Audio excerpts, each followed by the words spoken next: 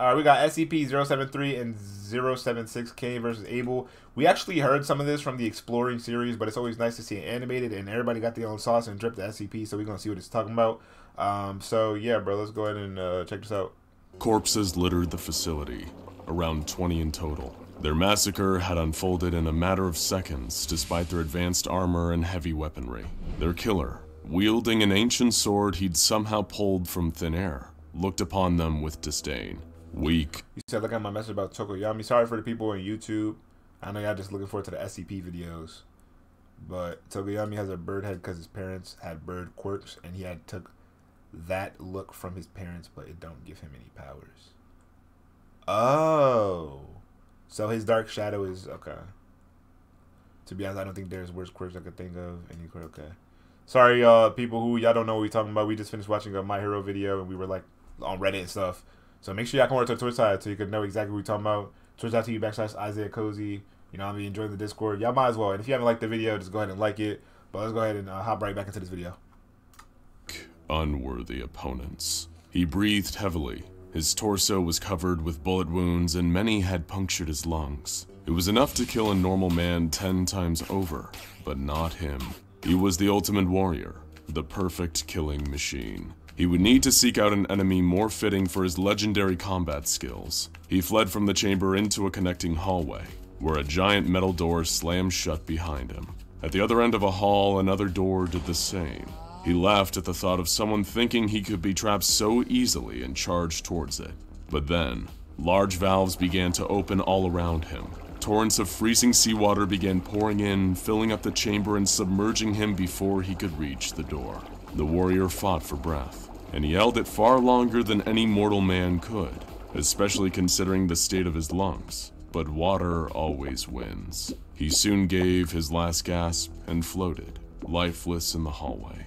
And soon after, his body turned to dust and disappeared in the briny water.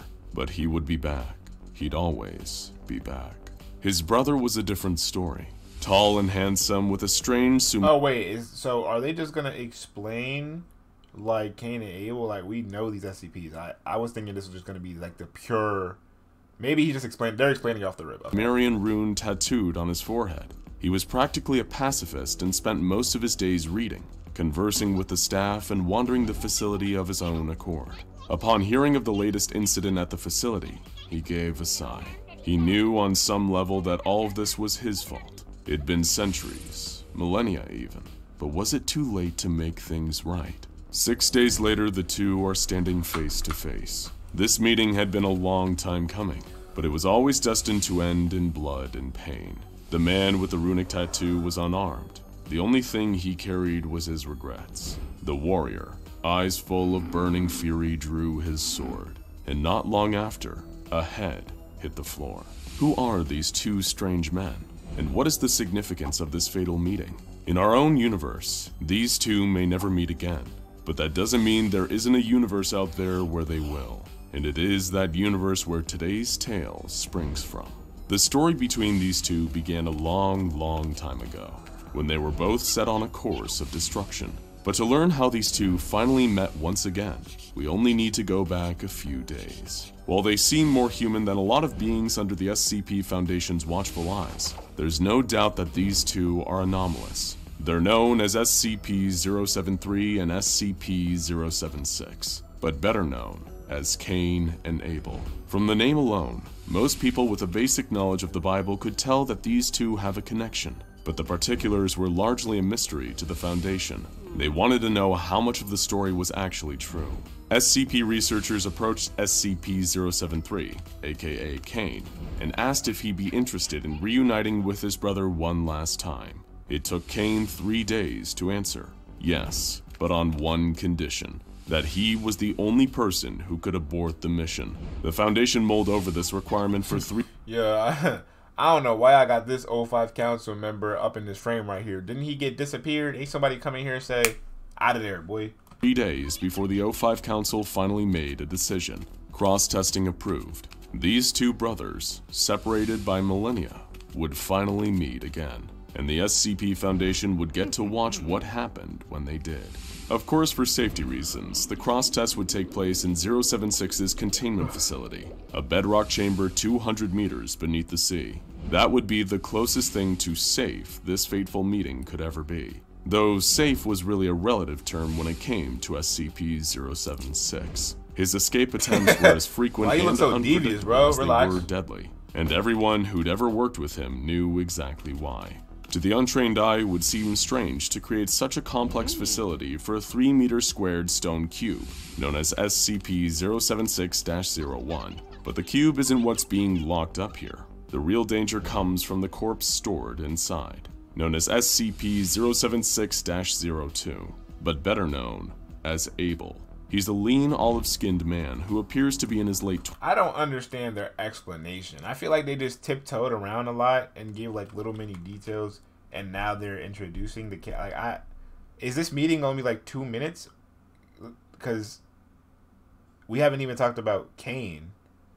Like, cause I, I already know. I don't want to skip for people who's the first time watching this. I don't want to skip, and I know some people already know about Cain and Abel, and they're probably like, "Oh, cozy." Like we already know. Like I know, but I just y'all just got to bear with it at this point. Ju- Just because I the explanation kind of weird, just to me, like the way it is. But that that's only because I know about Cain and Abel. For those who don't know Cain and Abel, it, it makes sense. But the the title was Cain versus Abel, so I thought that was all this was. 20s, but his Do you still watch the Rubber? I already posted this new thing on my channel. It's already up. His most distinct physical feature is the fact he's covered in an elaborate network of arcane and occult tattoos, largely of scowling demonic faces, similar to those found on members of the Yakuza. Whenever Abel's corpse reanimates, as it does at random intervals, everyone in his vicinity is in terrible danger. He's capable of pulling bladed weapons out of miniature dimensional rifts that appear around him, though he does this so quickly that it seems as though the weapons are simply materializing in his hands. Despite the increasingly complex efforts to contain him, Abel has been able to Yakuza is like a famous gang in uh in Japan. You never played Yakuza the game, or you never seen it before, bro? Reach containment and go on brutal rampages multiple times, killing scores of Foundation personnel in the process. Abel possesses superhuman strength, speed, and durability. During prior containment breaches, he was able to shrug off rounds from 50 caliber machine guns. He's torn through reinforced steel doors. He's even swatted bullets from both handguns and assault rifles out of the air with a length of steel rebar. Only killing him can truly end one of these rampages, and the Foundation has had to go to terrifying lengths in order to achieve this during past containment breaches. He's been drowned, asphyxiated, crushed, burned to death with a thermite grenade directly inserted into his chest cavity, and even disintegrated by the activation of the facility's on-site nuclear warhead. This may seem like overkill, but if Abel were ever to make his way into a major population center, the fatalities would be, well, of biblical proportions. Even death can't keep him down for long. His body will rapidly decompose and reappear intact within SCP-076-01. There's no telling when he'll reawaken, and his periods of inactivity can range from hours to years. Because of this, he must be constantly observed by guards highly proficient in close combat.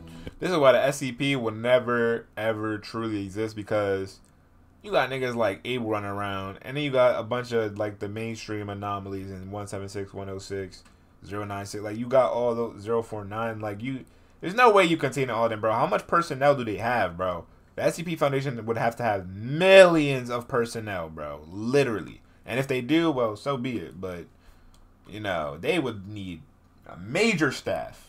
And always ready to go toe to toe with perhaps the most dangerous melee combatant in history. He's such a proficient killer that there was once a project aimed at weaponizing Abel, but this turned out to be a disastrous failure for the Foundation. When they ran out of missions to give him, Abel's thirst for blood caused him to turn his blade on his allies with no remorse, hacking them up with the same ruthless abandon he gave his assigned enemies. Interestingly, Abel does seem to have a twisted sense of honor. He has respect for combatants capable of providing him with a real challenge, and has even expressed concern for guards he considers to be respectable adversaries. But don't be fooled. There is no reasoning with Abel. Either you kill him or he kills you. And trust us, he's much better at it than you are. While he's often overshadowed by world-ending anomalies or more talkative mass killers like SCP-682, Abel is one of the most deadly creatures known to the Foundation. Abel's counterpart, 073, is an entirely different story. Despite his namesake being the first biblical murderer, this Cain is a far more enigmatic figure. A tall man in his early 30s appearing to be of Middle Eastern descent, he has two very notable physical characteristics. The untranslated Sumerian symbol tattooed on his forehead, and the fact that several of his body parts, namely his arms, legs, spinal cord, and shoulder blades, have been replaced by mysterious prosthetics of unknown origin. Unlike Abel, Cain is polite, non-confrontational, articulate, and communicative. He's even allowed to wander the facility he's housed in freely, though with certain regulations. Namely, that Cain is never permitted to come into contact with plant life or uncovered ground. This is because, in spite of the fact Cain doesn't appear to harbor any malicious intent, direct contact with him causes plants to wither and die, and the ground to become infertile. If Cain was ever introduced into a natural environment again, he could unwittingly cause an ecological catastrophe with his mere presence. In that sense, he could almost be as dangerous to large populations as Abel. However, Cain's danger to flora is only one of his E several anomalous qualities. Another is extraordinary mental capabilities and a near perfect memory. His memory and ability to recall is so good that some Foundation personnel have suggested using Cain's mind as a kind of backup server for the Foundation's collective knowledge. But perhaps his most well-known anomalous trait is his ability to act as a kind of immortal human voodoo doll. That's right.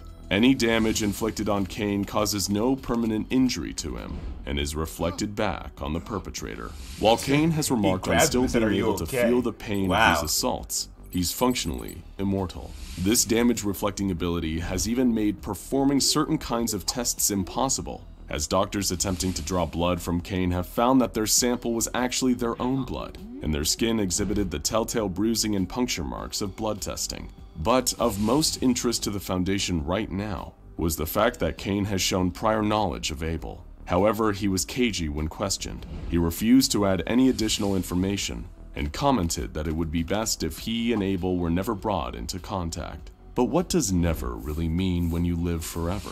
Cain finally did agree to the test. And while nobody know what caused Cain's change of heart, the Foundation knew better than to push him and potentially get the entire mission scrapped. Cain was taken from his facility and transported to the access point of Abel's underwater prison. The experiment's design was simple. Cain would occupy a temporary residence in Abel's containment facility until he next reanimated, at which point the interaction between them would be closely observed. Perhaps it would take weeks, months, or even years before Abel once again awoke and left his cube. But when he did, Cain would be there.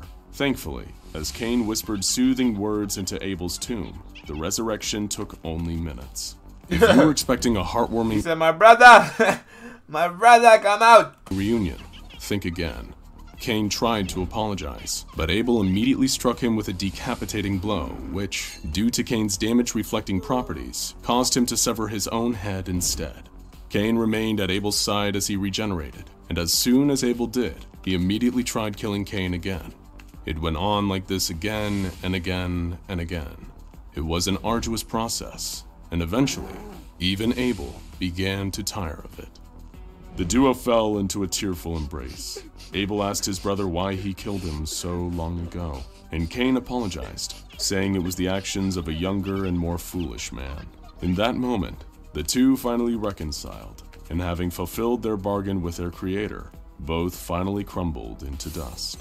Peace at last. Isn't As we said, this didn't happen to the Cain and Abel of our universe. But when universes are more numerous than grains of sand in an endless desert, such a thing has indeed happened somewhere out there.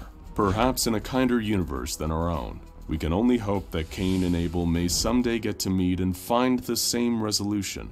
But until then, these brothers will remain one of the most dangerous and fascinating duos in the Foundation's catalog. Now go check out SCP-087 I mean, bro, like they both crumbled into dust and thus being released from everything. I mean, I guess, bro. I guess. I don't. Okay. I mean, yeah. I mean, it was it was it was it was fire. Ugh. So, shout out the infographics team always doing their thing. You know what I mean?